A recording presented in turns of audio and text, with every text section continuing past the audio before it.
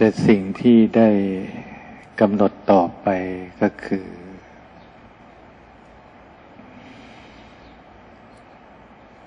ความอยากเป็นทุกข์ มิใช่หิว การปรุงจิตที่ไม่จริง นี่สำคัญ ความอยาก ที่เป็นทุกข์ไม่ใช่หิว การปรุงแต่งจิตที่ไม่จริง ให้เกิดทุกข์ การไม่กำหนดรู้จิต เรียกว่า อุปทานแห่งทุกข์ฉะนั้นการไม่กำหนดรู้จิตที่เป็นทุกข์เขาเรียกอุปทาน ถ้ารู้แล้วก็จะไม่ไม่เกิดฉะนั้นถ้าเรามาฟังดูว่าความอยาก ให้เกิดทุกข์มิใช่หิวโยมฟังดู กลายเป็นทุกข์กับคำว่าความอยาก ไม่ใช่หิวหรือคำว่าอด มีกินแล้วก็ยังทุกข์ อิ่มแล้วก็ยังทุกข์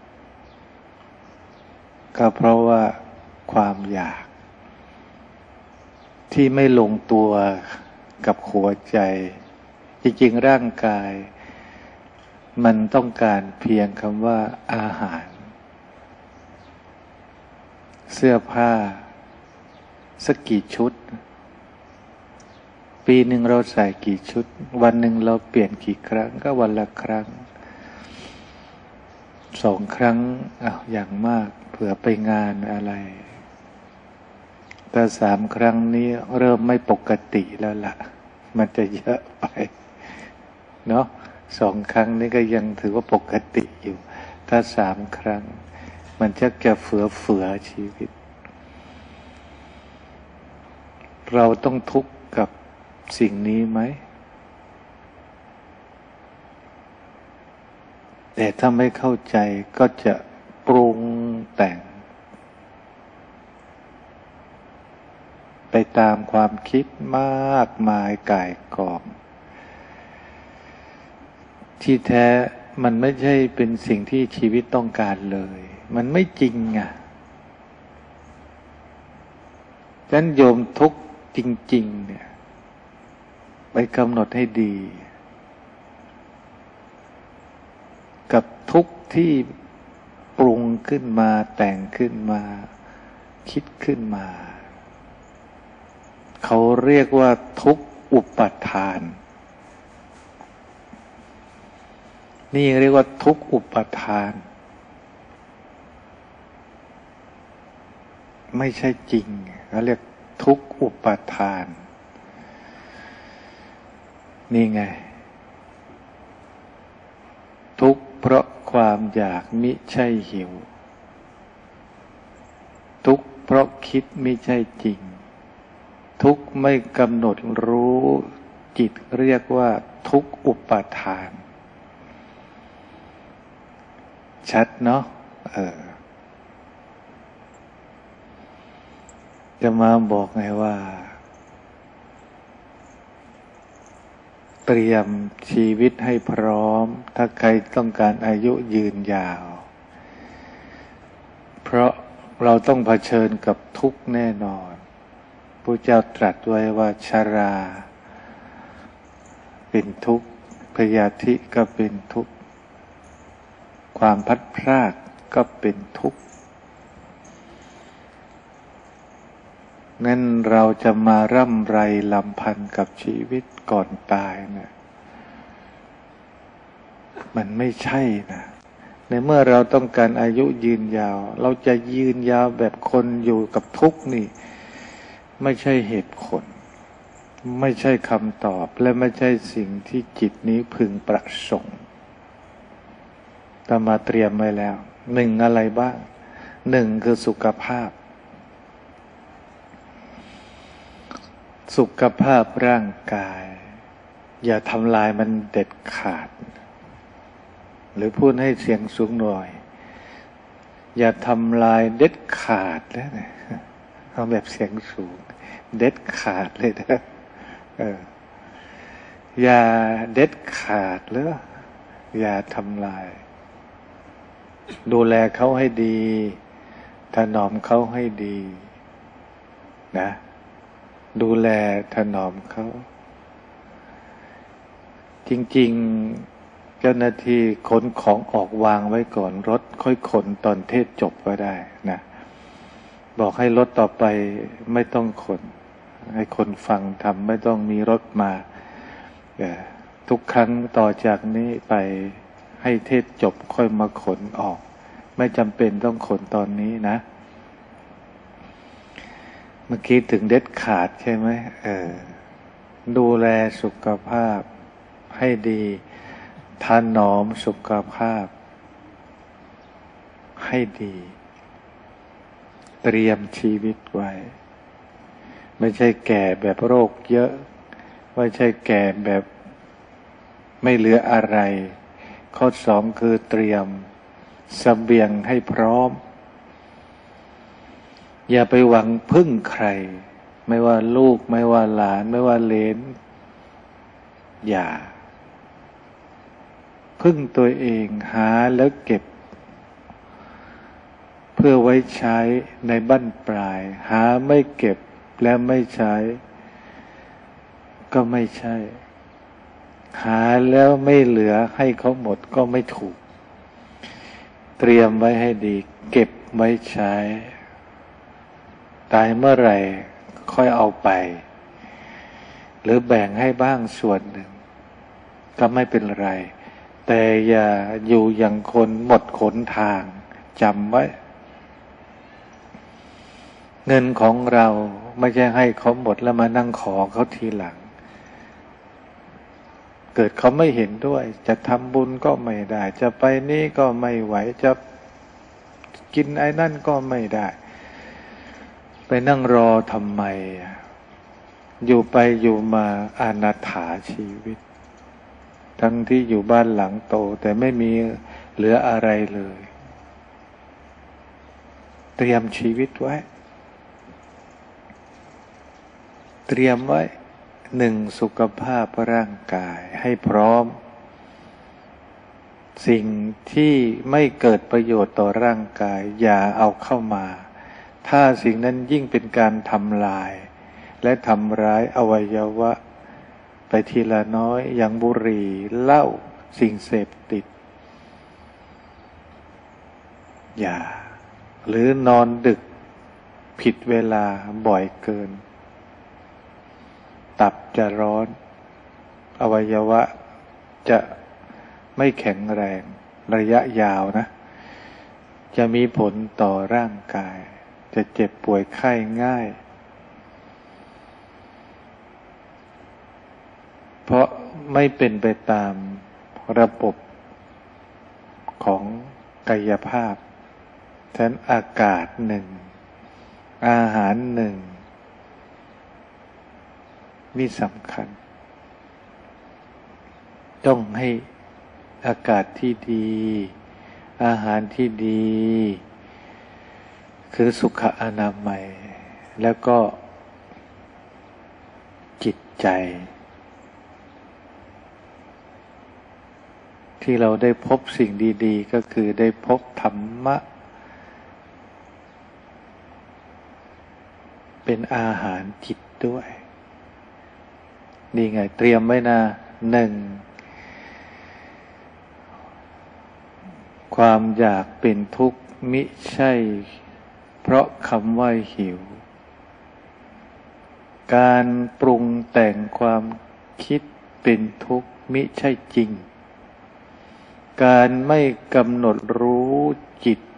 ที่เป็นทุกข์เรียกว่าอุปทาน จะมาไม่ทุกข์กับอุปทานแต่มาอยู่ในโลกแห่งความจริงม่ใช่โลกแห่งความฝันที่ไม่จริง ทุกคนต้องตื่นมา แม้จะหลับสักกี่ชั่วโมง สุดท้ายเราก็ต้องตื่น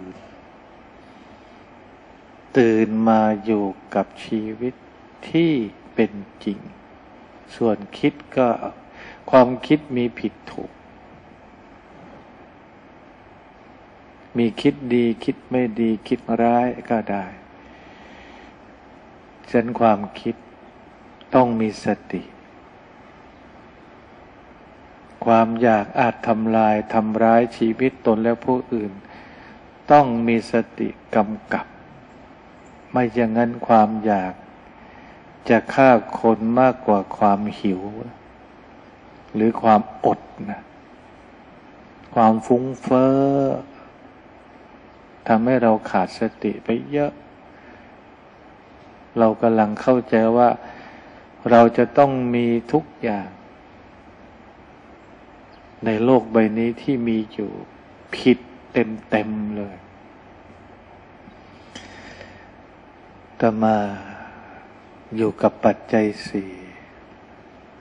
ยิ่งไปธรรมะสัญจรต่อมา นั่งยังไงก็ได้ขอให้มีที่นั่ง นอนยังไงก็ได้ขอให้มีที่นอน ฉันยังไงก็ได้ขอให้มีอาหารฉันไม่มีเงื่อนไข ไม่เรียกร้องอะไร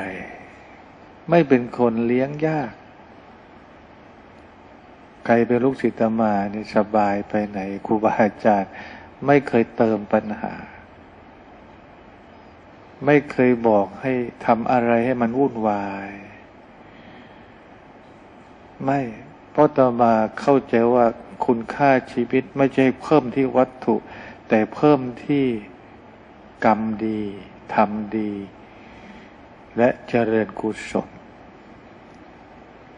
พร้อมทั้งชี้เรื่องมรรคผล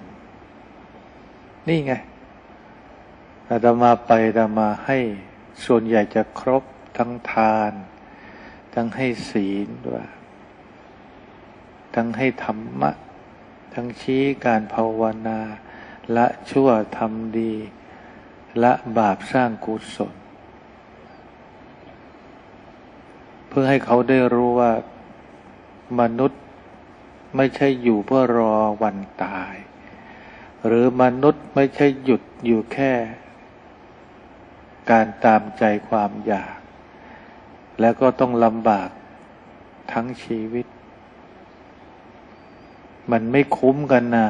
เพราะอะไร เพราะทรัพย์เหล่านี้ใช้ได้ แค่หมดลมหายใจ หลังจากนั้นละ่ะ พูดเรื่องเวรกรรมคือสิ่งที่ทำนี่ไง สิ่งที่ทำกรรมที่ก่อพอถึงเวลา ถูกจำแนกกรรมนั้นละเอียดหยาบ ตามการกระทำพุทธเจ้าตัดกรรมเป็นทายาทกรรมเป็นเผ่าพันธุ์กรรมเป็นผู้ติดตามกรรมเป็นผู้ให้ผล เราจะทำกรรมอันใดไว้ดีหรือชั่วเราจะได้รับผลแห่งกรรมนั้นซื้อไป เอวังอเมหิอภินาหังปัจเจเวกิตตปัง เราควรพิจารณาอย่างนี้เนืองเนืองเทิน ชัดเจนแล้ว ฉันตมาไม่ทุกข์กับอุปทาน แค่ของจริงก็เห็นทุกข์แล้ว แล้วทำไมอาตมาจะต้องทุกข์กับสิ่งที่มี แล้วเราจัดสรรไม่ลงตัว นี่ไงคือความไม่เข้าใจของชีวิตคือการเดินจิตผิด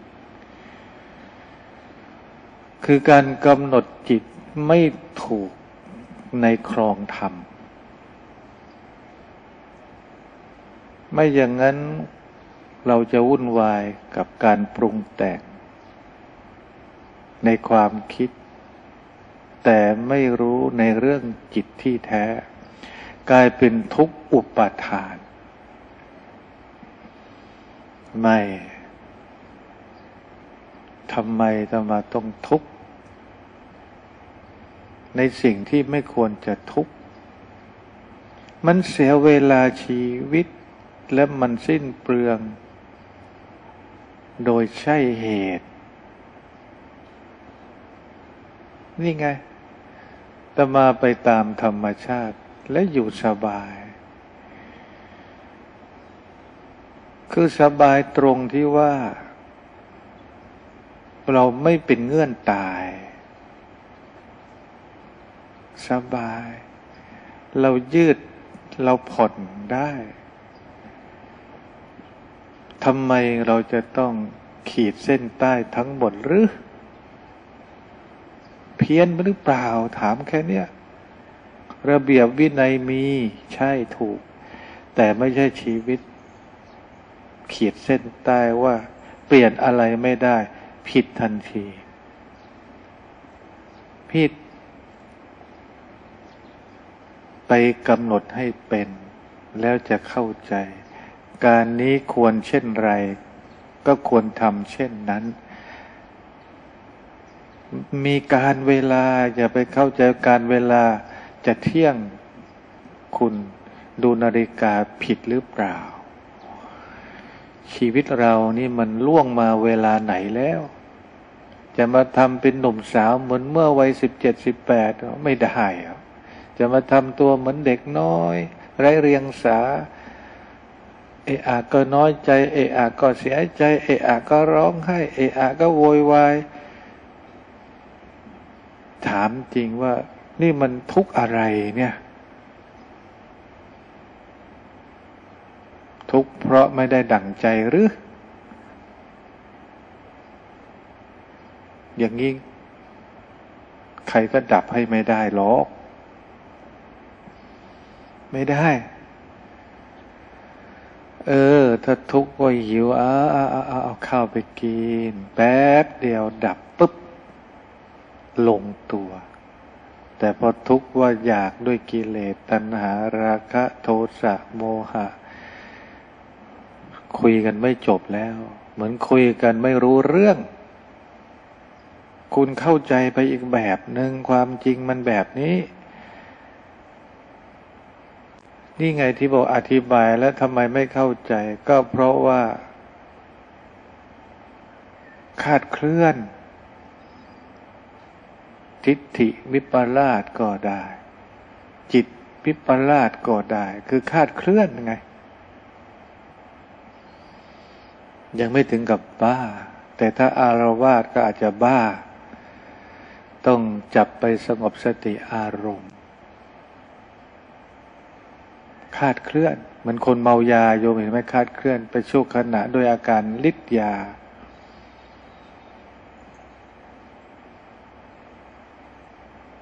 ไม่ได้นะฉะนั้นจะมากำหนดแล้วว่า ทุกที่มีอยู่แบบไหน ที่เรียกว่าทุกที่เป็นสัจจะหรือทุกแบบที่เป็นกิเลสปรุงแต่งโรคมันมีแบบกินลึกกับเป็นโรคแบบ เบาบางอะบางคนนี่ทุกข์กับอุปทาน ทั้งๆทที่มีทุกอย่าง พอคุณคิดก็ทุกข์แล้วไอ้นี่ไอ้นี่คิดไม่เป็นเลย ดูมันน่าจะมีความสุขกว่าคนอื่นแต่มาเคยเจอโยมอยู่คนเนี่ยดูภายนอกเขาพร้อมทุกสิ่งทุกอย่าง มีเงินฝากธนาคารเป็นสิบสิบล้าน มีบ้านให้เช่าเดือนหนึ่งหลายหลายหมื่น มูลค่าบ้านอีกก็หลายสิบล้าน มีหลายแห่ง แต่ทุกอย่างมันไม่ ไม่ใช่ทุกอย่างที่ที่จะเป็นเหมือนที่เราจะเป็น พอถึงจุดหนึ่งสามีก็เสีย เขาก็อยู่คนเดียวแต่มีพี่น้อง แล้วยังไงต่อ เขาก็เป็นคนดี เขาก็ดูแลพี่น้องคนนั้นคนนี้ แต่ตัวเขาเองไม่มีความสุขเลยทำไมหรือเขาจะกินอะไร เขาจะจ่ายอะไร เขาจะใช้อะไร เขาจะอยู่ยังไงแต่ละเรื่องมันคือปัญหาทั้งหมดเลย กินก็คือปัญหา จะซื้อของก็มีปัญหา จะอยู่ที่ไหนก็มีปัญหา พูดอะไรออกมาฟังแล้วมันเหมือนทำไมมันไม่จบอะ มันวนอยู่อย่างเงี้ย ตัดสินใจก็ไม่ได้ วางจิตก็ไม่เป็น พูดก็ไม่ขาด สรุปว่าไม่มีบทสรุป ท่านเจ้าขุนล้อเล่นหรือเปล่า สรุปว่าไม่มีบทสรุปอ้าวแล้วยังไง ก็ไม่มีบทสรุปไง ยังไงก็อย่างนั้น และอย่างนั้นก็ยังไงไงอ้าวชักละชักละฟังนานๆ ชัก ชักอะไรละชักมีดชักดาบหรือชักโมโห หรือชักกระตุก รือชักจะลังเลสงสัยว่า ฉันจะไปต่อกับเธอไหม ต่อให้มีอะไรทั้งโลก สิ่งอุบาโลกทั้งหมดมันแค่เปลือกแต่ชีวิตจริง มันไม่ลงตัว คุยก็ไม่ลงตัว จะทำอะไรก็ยิกยิกยักยักแล้ว จะเอาความสุขมาจากไหน เงินทองมีก็แค่นั้นแหละ ทุกอย่างที่มี ก็ไม่มีอะไรลงตัวสักอย่างเดียว พอเจอตมาตมบอกโยมพอได้แล้วโยมไม่ต้องพูด โยมพูดไม่จบหรอก ความคิดโยม มันไม่มีป้ายอะ มันไม่มีป้ายว่าจอดหรือสต็อปอย่างเงี้ย ไม่มีเลย ไปเลยเลย เลยไปไหนก็ไม่รู้นี่มันเมืองเลยก็ยังเลยไปอีก โอ้ แล้วจะกินข้าวมีความสุขไหม จะนอนมีความสุขไหม คุณมีแง่มีงอนทุกทุกขั้นทุกทุก ตอนเนี่ยไม่ไหวอะ่ะ มันยิ่งกว่าเด็กสองขวบสิอีก ทั้งทั้งที่อายุหกสิบกว่าแล้ว ไม่ไหวอะ่ะ ใช่ไหมพูดว่าใช่สักพักก็บอกไม่เอาแล้ว เอาตกลงว่าผ่านอีกคืนหนึ่งบอกโนอีกแล้ว โอ้โห แล้วเมื่อวานบอกเยส วันนี้บอกโนเราเสียคนนะกลับตัวไม่ได้ประสานอะไรไม่ได้ตกลงกันไม่ได้ นี่ไง ทุกอุปทาน คือไม่มีป้ายจอด ไม่มีสต็อปแล้วมันคือเงื่อนไขของตัวเองที่ไม่มีสิ้นสุด ไม่รู้จะหยุดยังไง โอ้ ตายตาย อย่างไปซื้อรถสักคันหนึ่งเอาเนี่ยก็บ่นของรถใช้นี่มันเก่ามากแล้วสิบกว่าปี ก็อยากจะเปลี่ยนใหม่ก็บ่นทุกวันนะบ่นจนเราบอก เออ ก็ไปซื้อเสียจะสดก็ได้จะผลก็ได้ไม่ได้เดือดร้อนอะไรท่านเจ้าคุณต้องพาโยมไปดูด้วย อ้าวก็ไปที่ไม่ได้เป็นอะไรนี่พูดนี่มันเกือบยี่สิบปีแล้วนะ ไปไป พาไปดูศูนย์นั่นศูนย์นี่ศูนย์นั่นไม่ถูกใจสักศูนย์เลย ไม่ถูกใจสักยี่ห้อ เอาไงดีโยมเนี่ยรุ่นนี้เอาแบบลุยน้ำได้ แต่ลุยไฟไม่ได้แค่นั้นแหละ เอารุ่นระบบ ยกสูงหน่อยเพื่อเข้าป่าเข้าเขาก็จะได้ ตกลงเรียบร้อย เอาตกลงนะโยม ชอบยังชอบ ลองดูแล้วเข้าไปดูโอ้ดีดีดีดีเอาโยมก็มัดจำเขาทีเดี๋ยวเดี๋ยวเดี๋ยวเดี๋ยวก่อนเดี๋ยวพรุ่งนี้พรุ่งนี้ เราก็ เออเออจบเลยเนาะพอพรุ่งนี้เช้า ไม่เอาแล้วเจ้าคุณ โยมตมานี่เสียคนเลยนะนี่เราไปให้ความหวังเขาอย่างดีว่าวันนี้จะมาเซ็นสัญญา แล้วโยมพาตมามาทำไมเนี่ยแล้วตมาเลือกแทนโยมทำไมทำไมโยมไม่เลือกเอง นี่โยมเล่นอะไรกันตมาไม่เล่นแล้ว เสียคนนะเนี่ย ไม่เอาละถ้าวางมัดจำก็เสียเงินค่ามัดจำไปนะว่าว่างั้นโยมคิดเองเออเองตมาไม่ละเจ้าคุณเนี่ยชอบว่าแต่โยม อ้าว สมาไม่ได้ว่า โยม แต่ว่าโยมทำแบบนี้ มันไปไม่ถูกเกียร์โยมจะเข้าเกียร์ไหน เกียร์หนึ่งเกียร์สองเกียร์สามเกียร์ต่ำเกียร์สูงเกียร์เร็วเกียร์ช้าโยมเอาสักเกียร์ได้ไหมนี่โยมเล่นเกียร์รูดอย่างเดียวมันไม่ไหวสุดท้ายก็ไม่ซื้อโอ้งั้นใช้คันเก่า บ่นอีก โอ้รถมันเก่าแรงก็ไม่ดี รุ่นมันก็ตกรุ่น พูดทำไม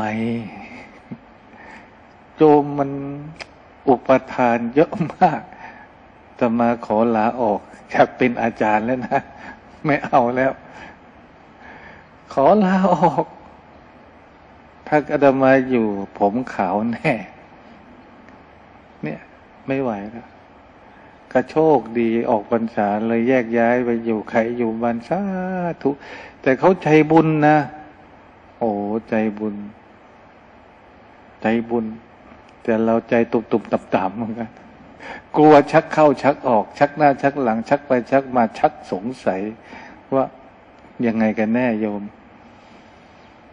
พยักหน้าแล้วก็สายหัวนี่มันคืออะไร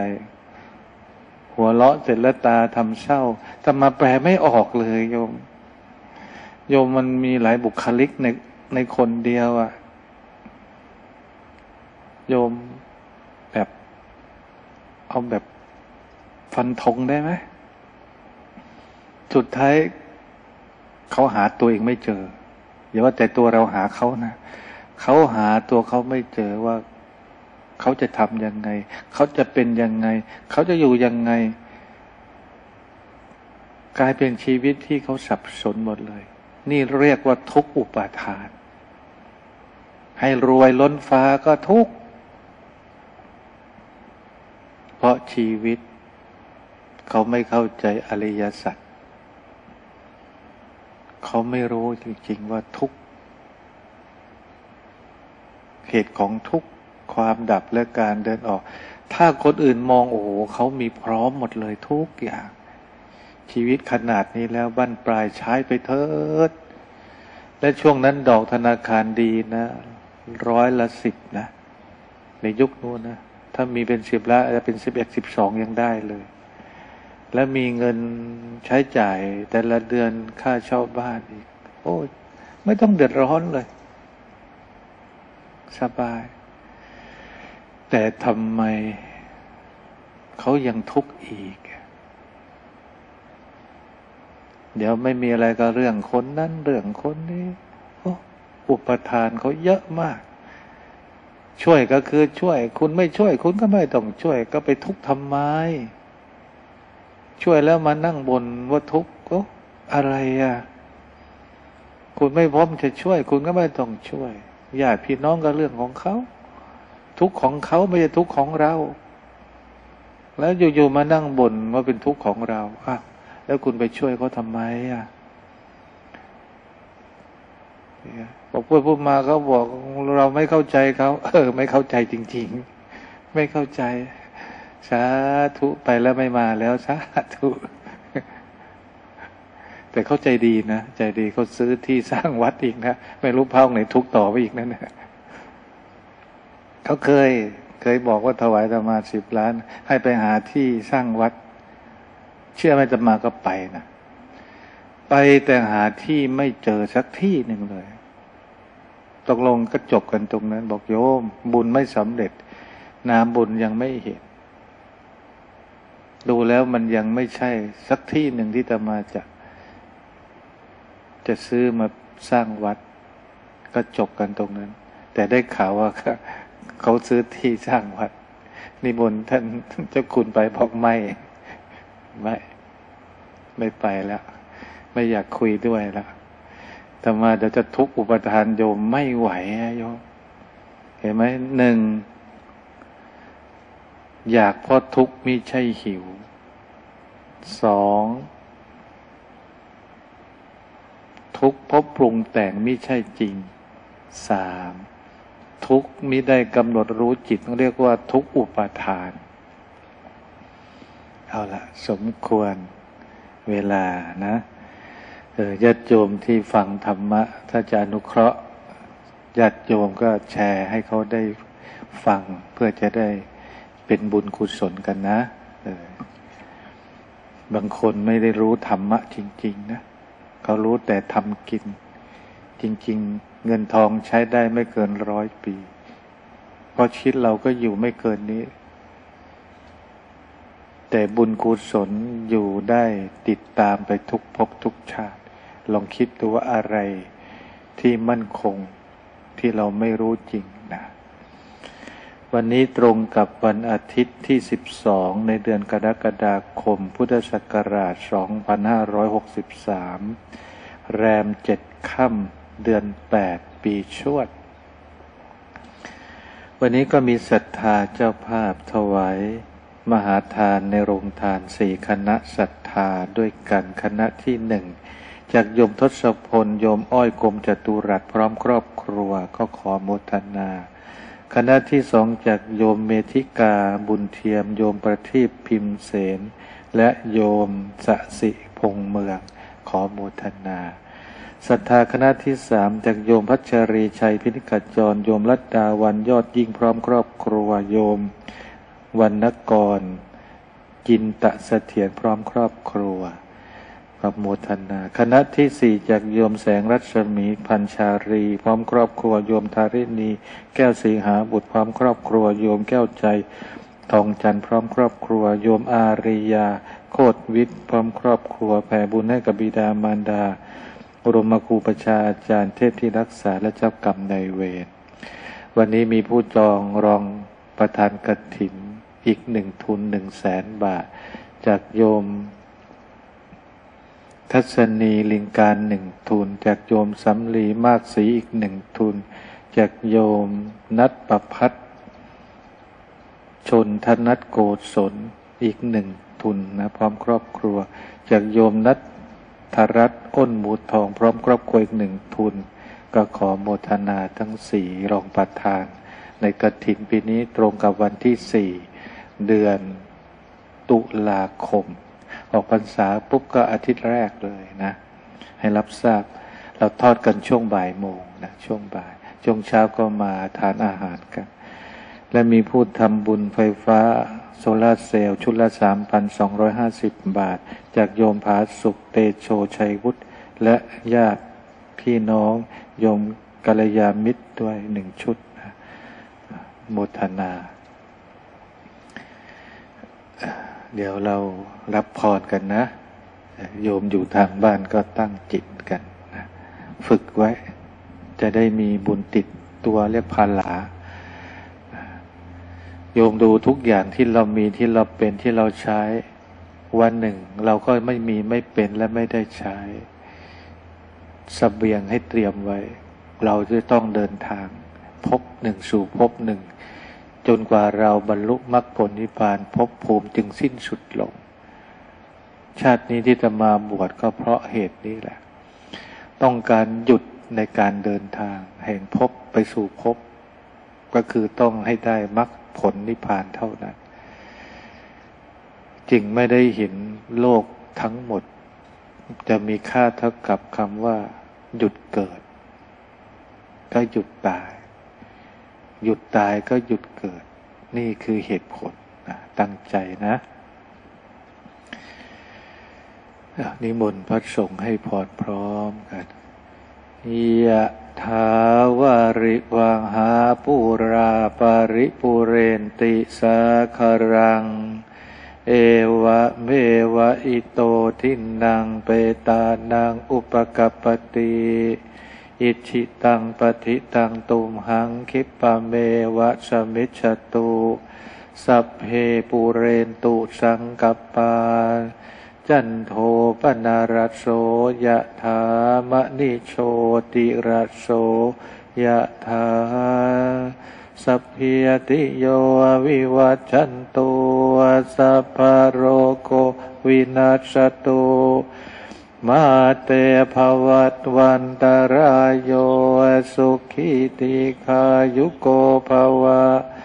อภิวาดนาสิริสานิจังวุธาปจายโน จัตตารโอธรรมาวัฏันติอายุวันโนสุขังปาลังอายุโตภารโตทิโรวานาโตปฏิปานโตน สุขาสทาตาเมทาเว สุขังโสอติกัจฉติอายุงดัตตวาพนังวันนางสุขันจะปฏิปานโตติขายุยะสวาโหติยัตหายตุปปัสติติ ปวะตุสาบมังกลังระคันตุสาบเดวตาสัพพุทธานุภาเวนัสตาโสทิภวันตุเตภาวะตุสัพมังกลังราคันตุสัพเดวตา สัพพธรรมานุภาเวนัสตาโสทิภวันตุเตภาวะตุสาบมังกลังรักขันตุสาบเดวตาสัมปะสังขานุภาเวนะสตาโสทิภาวันตุเต รุ่งนี้ก็ออกธรรมสัญจรนะพรุ่งนี้วันจันทร์นะจะออก